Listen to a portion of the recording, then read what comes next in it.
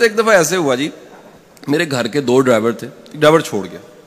जो ड्राइवर छोड़ गया, वो फैमिली का ड्राइवर था। अब जो फैमिली को ड्राइवर लगा होता है, वो बड़ा सेंसिटिव ड्राइवर होता है। बच्चों को छोड़ना है, लाना है, बेगम साहबा ने जाना है, आना है, पर्देदारी का ख्याल, दीनदार हो जेंटलमैन हो, ड्राइवर छोड़ गया।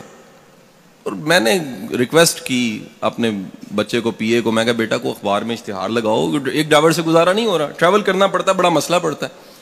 उसने अखबार में इश्तिहार लगाया। जब इश्तिहार लगाना था, मैं अगेन पाकिस्तान में नहीं था। अल्लाह का करना नहीं था।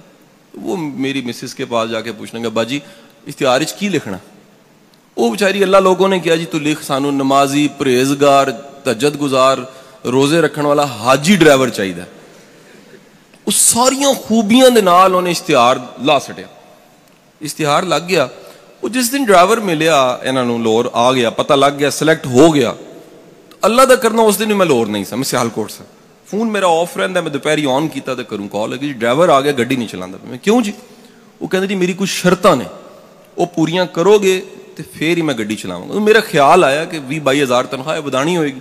कोई इस तरह का मसला हो सकता सो शामी मैं घर पहुँचा तो जो मैं उनका अल्लाह को मंगया या अखबार इश्तिहार दिता वही सामने बैठा सी। नूरानी चेहरा, नेक बंदा, सिर झुकया आया मुदब बारिश। शलवार जी टखना तो उत्ते जो मंगया सी वही सामने सी 52 टू ईयरस एज फैमिली वाला बंदा एगा पख्तून सी मैं कहा जी खान साहब हुक्म करो कि शर्त ने कहते साहब तीन शर्त ने मेरी मैं कहा दसो कहते जी पहली शर्त मेरी है वे कि गड्डी च गाना नहीं लगेगा मैं कहा यार मेरी साड़ी गड्डी गाने लगते ही नहीं ने होर कोई दस गल कहते जी मैनू दूसरी मेरी शर्त नमाज़ का वक्त आएगा तो मैं कहा जी तू गड्डी लाना करीबी मस्जिद नमाज़ पढ़ लेना तीजी शर्त कहते साहब, तीसरी शर्त भी है। गाड़ी आपने सिखानी, मुझे चलानी नहीं आती।